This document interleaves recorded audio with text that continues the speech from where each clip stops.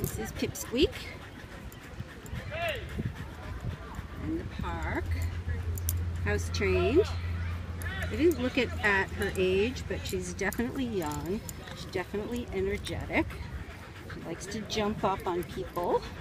It's all about playing. She has, she got the zoomies. So this is a brief moment of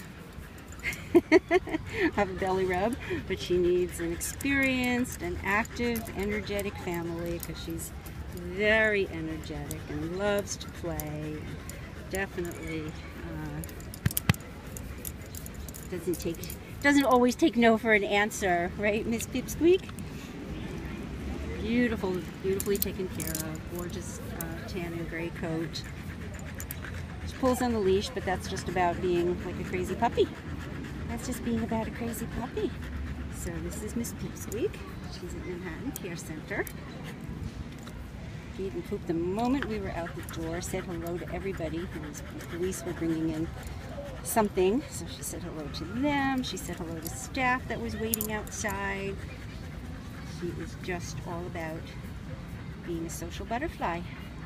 And then she'll just like be energy, energy, energy, and then just stop and flop over for a belly rub as she's doing now and just getting her little rest.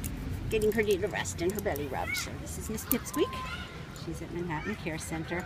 Looking for a new home. Miss Pipsqueak. What a name, huh? What a silly name for you, Pipsqueak. Yeah. Oh, look at that. Feels good, huh? Does it feel good to stretch out? Yeah,